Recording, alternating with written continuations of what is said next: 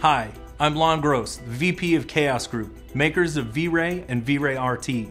Today I'm going to be showing you a brand new version of V-Ray RT that is fully CUDA optimized. We're going to be using a Kepler-based Maximus platform and Maya 2013 to walk you through a typical workflow.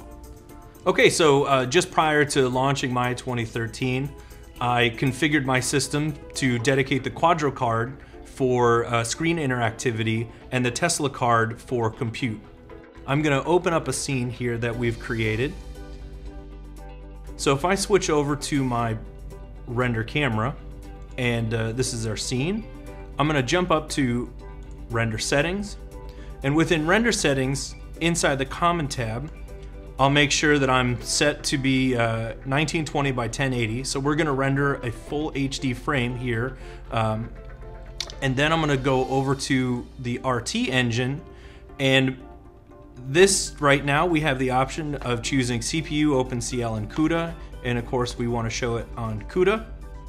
Uh, we also have the ability to downsample our GPU textures in the case that we wanted to take really high resolution textures and send them to the GPU in a smaller format to allow us to use the memory a little bit better. So, and the way we can turn that on and off is with this checkbox.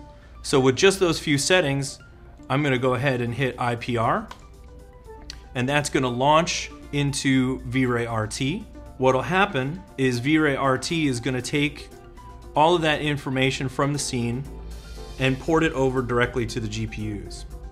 Now this process can usually take uh, 30 seconds or so depending on how big your scene is and how many textures that you have. And there we have it.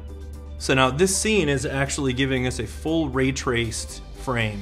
And this is with glossy reflections, with global illumination, uh, high dynamic range, image-based lighting.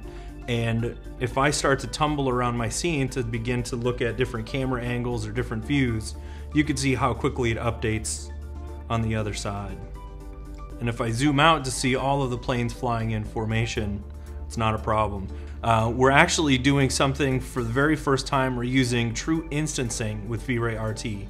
So we're actually able to put in a tremendous amount of uh, polys because of the fact that they're instant.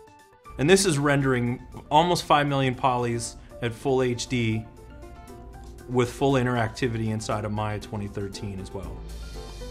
Okay, so I've opened up a production scene here with a highly detailed robot. And when I start working on look development, the first thing that I would do is add a V-Ray dome light with an HDR. That's just gonna give me a general environment light. Next thing I'm gonna do is go to my render settings and choose the RT engine and make sure that CUDA is enabled. With that, I'm gonna launch the IPR. There we go. One of the new features inside of V-Ray RT is we've added the ability to use V-Ray blend materials. In this particular case, I've got the robot looking one way, and if I drag my slider all the way to the right, we can see a completely alternate set of materials.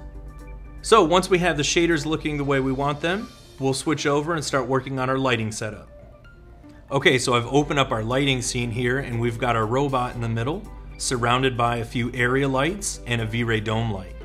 If I switch to my production camera view and I enable V-Ray RT, we'll be able to take a look at each one of these different lights and its contribution to the character. So if I enable the first one here, this is going to be a blue fill light, and we can see that that provides a bit of uh, shading on the front of the robot. Then I'll turn on our rim light to pull out the silhouette, and to separate the character from the background, we've got a bit of a blue rim. A few more environment lights to turn on, and we have our character looking pretty good. Once we're happy with the way things are set up, we can actually take a look at the different animated frames. So if I go to a different position here of our character, we can see what he looks like when he starts to leap, and what he looks like when he takes off. The CUDA-enabled version of V-Ray RT allows us to walk through look development in real time.